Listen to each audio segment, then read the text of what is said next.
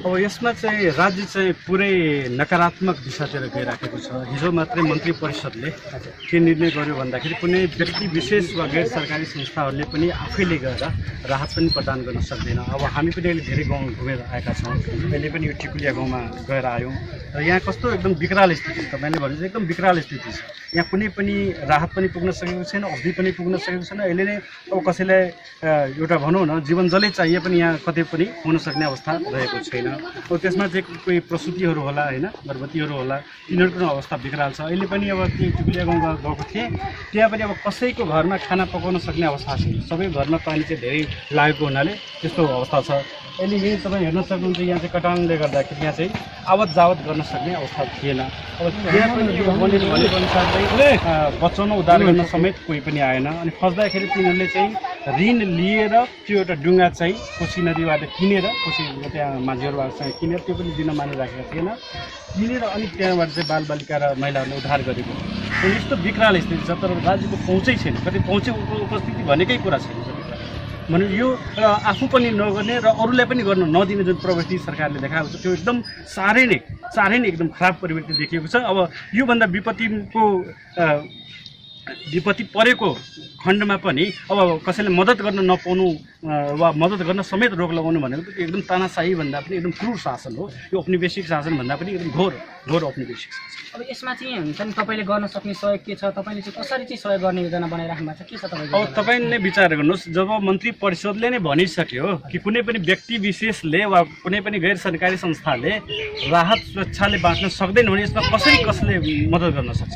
यो त अब गैर कानुनी घोषित नै गरिहाल्यो। होइन भनेपछि यसमा मद्दत गर्न सक्ने ठाउँ पनि बाँकी छोडेको छ त्यही पनि हामीले के गर्न गरे- गरेका छौँ भन्दाखेरि आफ्ना स्वराजीहरूलाई चाहिँ ठाउँ ठाउँमा खटाएका छौँ। अहिले उद्धारका कार्यहरू चाहिँ अ, अ, फोकस गरेका छौँ हामी। जस्तै अब कतै पनि मान्छेहरू फँसेका छन् होइन बिरामीहरू नै अहिले पनि फसेर उपचार गर्न पाएका छन् अस्पतालसम्म पुग्न पाएका तिनीहरूलाई चाहिँ उद्धार गरेर अस्पतालसम्म पुर्याउने ठाउँ ठाउँबाट चाहिँ उद्धार गर्ने महिलाहरूलाई उद्धार गर्ने गर्भवतीहरूलाई चाहिँ मेडिकल भएको पुर्याउने त्यस्तो कामहरूमा चाहिँ हाम्रो कार्यकर्ताहरू तपाईँको चाहिँ यो गर्नुपर्ने तत्काल चाहिँ के देख्नु भएको छ? यो क्षेत्रमा तपाईँले अहिले निरीक्षण गरिसक्नु भएको छ। अहिले यो क्षेत्रमा चाहिँ सरकारले अथवा कसैले गरिसक्नु तत्काल गरिहाल्नुपर्ने कामहरू? सबभन्दा पहिला अहिले पनि धेरै ठाउँमा मान्छेहरू फँसेर बसेका तिनीहरूको चाहिँ तत्काल उद्धार हुनु सशस्त्र प्रहरी लगाएर हुन्छ कि सेना लगाएर हुन्छ कि हेलिकप्टरबाट हुन्छ तिनीहरूको तत्काल उद्धार गर्नु पर्यो तिनीहरूलाई सुरक्षित ठाउँसम्म पुर्याउनु पर्यो। पहिला नम्बर वान।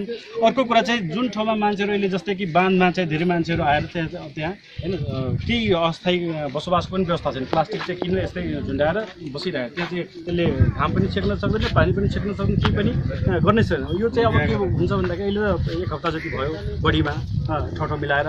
यो अलिकति बढी लामो बसाइ बस्यो भने त्यहाँ मान्छेहरू धेरै बिरामी हुन्छ। त्यहाँ चाहिँ एकदम बिरामी पनि रोगहरू पनि फैल्ने धेरै सम्भावना हुन्छ। तिनीहरूलाई चाहिँ व्यवस्थित गर्नु पर्यो अलिकति तिरपालहरू दिएर अनि तिनीहरूको चाहिँ खाना पनि सकेसम्म सामूहिक ठाउँमा व्यवस्था गर्नु त्यस्तो ठाउँमा धेरै हजारौँ हजार मान्छेहरू बसेको ठाउँमा चाहिँ सामूहिक रूपमै त्यसको चाहिँ मेसको व्यवस्था गर्नुपर्ने अविलम्ब आवश्यकता रहेको छ। त्यसको लागि चाहिँ म सरकार मात्रै होइन अरू पनि सङ्घ संस्थाहरू पनि आह्वान गर्न चाहन्छु कि त्यस्तो चाहिँ मेसको व्यवस्था गरियोस् र तिनीहरूलाई तुरन्तै चाहिँ त्रिपाल चाहिँ उपलब्ध गराइयोस् र फँसेकाहरूलाई चाहिँ तुरन्त अब अलिकति दीर्घकालीन रूपमा जाउँ यो यसरी चाहिँ यो तराई डुबानमा परेको अहिले मात्रै होइन पहिलोपटक मात्रै होइन। अहिले चाहिँ धेरै क्षति भएर अलिकति सबैतिर हो वर्षै नै यस्तो भइरहेको छ। यस्तो हुनुमा चाहिँ तपाईँले को दोषी देख्नु भएको छ?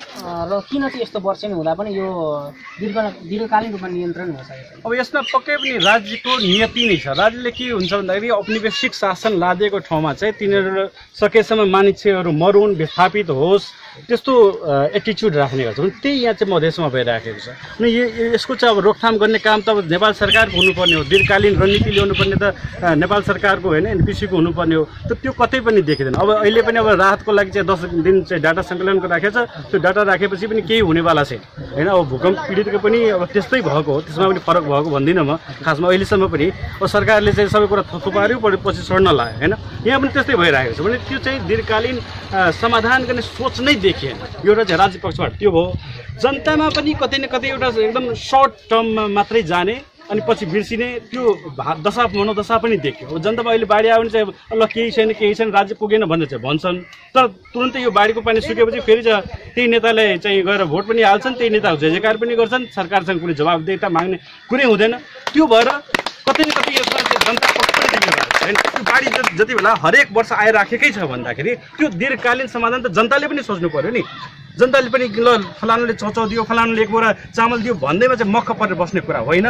जनताले पनि दीर्घकालीन समाधानको लागि यो चौचौ एक प्याकेट चौचौको लागि एक प्याकेट नुनको लागि सङ्घर्ष गर्ने होइन कि माग्ने होइन कि दीर्घकालीन समाधान के हुन्छ त्यसको लागि चाहिँ आवाज उठाउनु पर्यो त्यसको लागि आवाज उठाउनु बुलन्द गर्नु पर्यो। त्यो चाहिँ अब यसलाई समाधान गर्न लागि अब जनता स्तरबाट अगाडि बढ्नुपर्छ तपाईँले भन्नुभयो होइन अब जनता स्तरबाट अगाडि बढ्दाखेरि के केमा चाहिँ जोड दिएदेखि यो दीर्घकालीन रूपमा चाहिँ अब यो तराई डुबाउन पर्दैन? जनताले त पहिला हेर्नुहोस् जनताले त आवाज मात्रै उठाउँछ त्यो पनि प्रतिबन्ध छ कति त त्यो आवाज उठाउँदा पनि मैले आफैले अब कतिवटा राजद्रोह यहाँ झेलेको तपाईँले अवगतै र यहाँ त बोल्न समेत पनि छुट छैन। गर्न त के छुट होला? गर्न जनताले के चन्दा लाएर यो कलवर्ट बनाउन सक्छ सक्दैन। त्यसको लागि पनि अब सरकारकै अनुमति चाहियो। राहत बाँड्न सरकारको अनुमति चाहिएपछि त्यो कलवर्ट बनाउन वा बाँध्न त अनुमति चाहियो। भनेपछि त्यसमा चाहिँ जनताले गर्न सक्ने भनेको प्राथमिक काम भनेकै आवाज उठाउने र त्यो पनि सशक्त तरिकाले।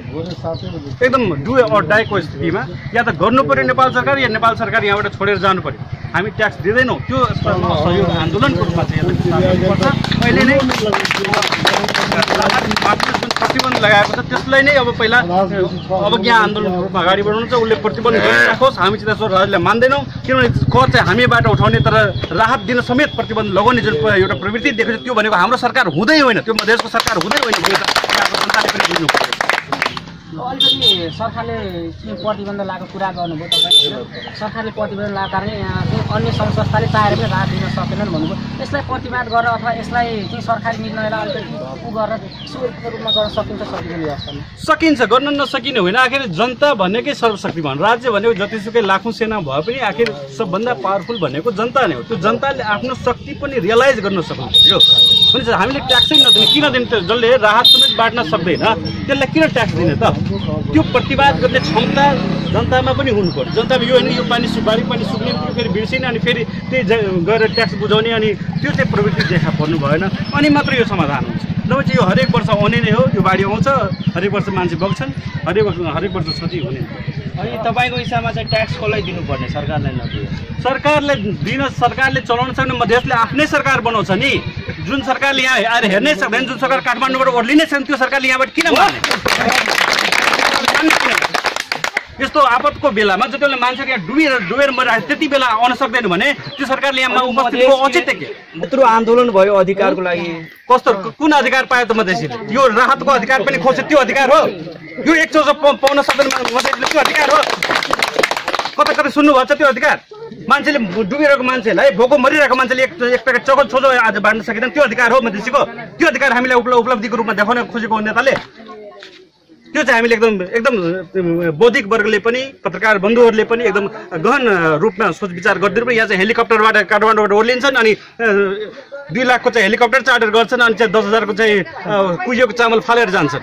अनि त्यसलाई राहत भनेर एकदम प्रोजेक्ट गर्छन्। यस्तो तरिकाले पनि उधार राहत उधार हुन्छ कि? अन्तमा अब हामीले सोध्न तपाईँलाई भन्नु मन लाग्यो। बाढी पीडित राहत सम्बन्धी केही छैन। हामीले के भन्न खोजेका छौँ सरकारले जे जस्तो निर्देश दिए पनि सरकारले यहाँ के गर्न सकेको छैन। त्यही भएर सरकारले जे जस्तै निर्देश पनि त्यसलाई हामीले मान्नुपर्ने आवश्यकता छैन। त्यसलाई अवज्ञा आन्दोलनको रूपमा बढाउँ र त्यसलाई म गैर सरकारी संस्थाहरू वा जसले पनि यहाँ सहयोग गर्न खोज्छन् तिनीहरूले के भन्न चाहन्छु भने तपाईँहरू निर्धक्क काम गर्नुहोस्। कसैसँग डराउनु पर्ने आवश्यकता छैन। निर्धक्क राहत बाँड्नुहोस्। सरकारको आदेश मान्नुपर्ने कुनै आवश्यकता छैन।